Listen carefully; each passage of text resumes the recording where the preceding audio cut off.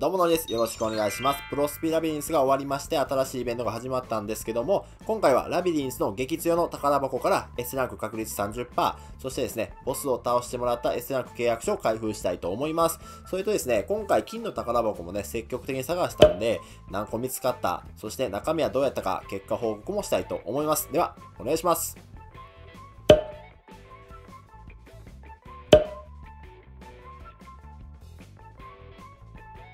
はい、今回ですね、金の宝箱結構探したんですけども、結構出てくれまして、まあ以前の、えー、ラビリンスよりもね、出やすくなったような気がしました。まあちょっとね、何個、前回ね、何個出たのかちゃんと把握はしてないんですけども、はい、結構出てくれまして、まず弱いが2回やって1個出ました。そして普通が3回やって2個出ました。そしてやや強が4回やって3個出ました。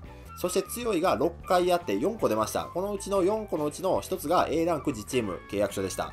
そして激強は5回やって13個出てくれました。はい、その13個出たその中身を結果を発表したいと思います。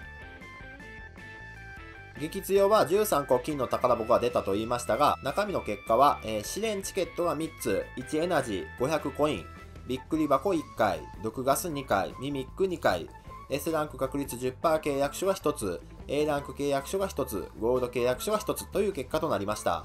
金の宝箱はね、よく出てくれたんですけども、びっくり箱のような外れが多かったような気がします。それでもね、契約者もらえたので、得は得やったと思うんですけども、ただね、時間がかかってしまうのがこのイベントのネックなのかなと思いました。金の宝箱を探しながら激強をクリアするのはね、30分くらいかかってしまったんで、まあ大変っちゃ大変やったんですけども、まあ無課金の僕にとってはね、ありがたいイベントでした。では、契約書開封したいと思います。はい。ではね、S ランク確率10%契約書、ロスピラビリンス金の宝箱の報酬から引いていきたいと思います。行きましょう。受け取ります。さあ、お願い。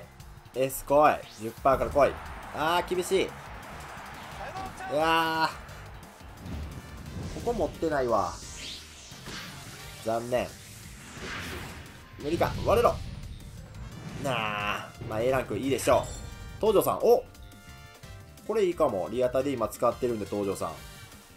ありがとうございます。はい、続いて S ランク確率30%契約書を開封したいと思います。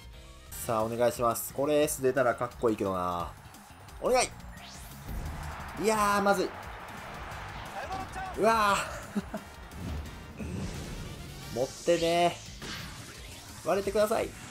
お願い割れないですね。はい、大城さんでした。ありがとうございます。残念。はい、では最後 S ランク契約書開封します。欲しい選手は、今のところ、福留さん以外の阪神の S ランク。いきましょう。S ランクはね、確実なんで。はい。さあ、来ましたよ。長打。さあ、ドッキドキ。阪神、お願い。頼む。